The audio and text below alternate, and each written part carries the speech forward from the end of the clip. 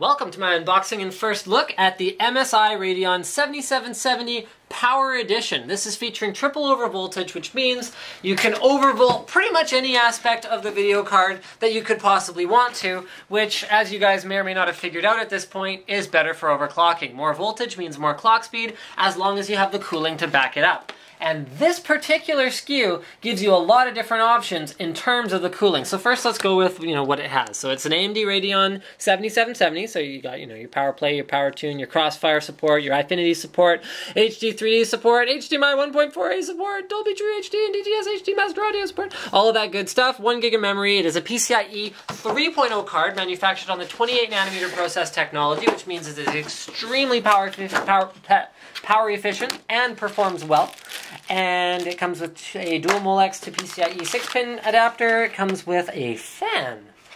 That's a strange inclusion. It comes with a propeller blade fan. This looks an awful lot like a VGA fan.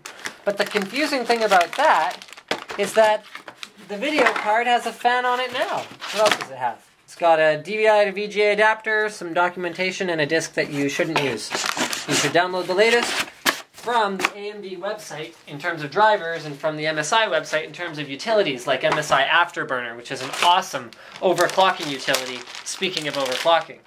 So let's open this card up and have a look at what is unique about the 7770 Power Edition. So, all right, you got your DVI, you got your HDMI, yeah, if it opens, okay. You got your display port, so all that's pretty typical. You got your MSI logo, which is typical as long as the card's made by MSI. If the card was made by someone else and it had an MSI logo, that would look a little weird.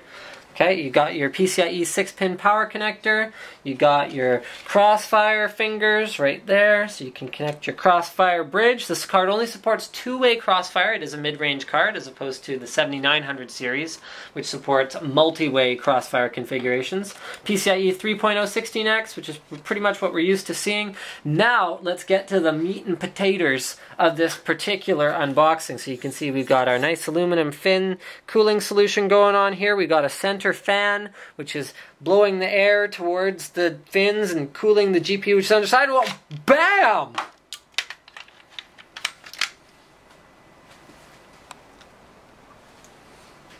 Dual fan cooling solution. So you take this little pin, what a wire thing right here, you plug it into these pins right there, and then you kind of, you know, manage the cable somehow. It comes with screws so you can affix it more permanently. And there you go. You now have a dual fan cooled card.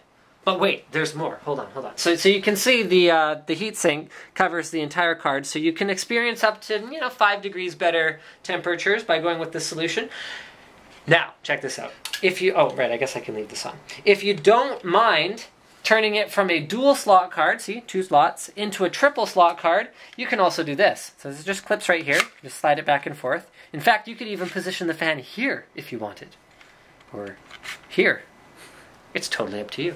So if you put it back in the normal position, you can actually build yourself like um, like a double cheeseburger video card just by slapping that on there, which gives you more pressure, but not necessarily a ton more airflow, but definitely more static pressure, which is good for pushing air through radiator fins or heatsink fins, and uh, but turns it into a triple slot card.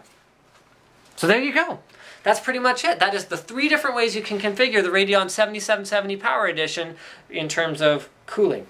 Don't forget to subscribe to Linus Tech Tips for more unboxings, reviews, and other computer videos. Look kind of like a car. It's like...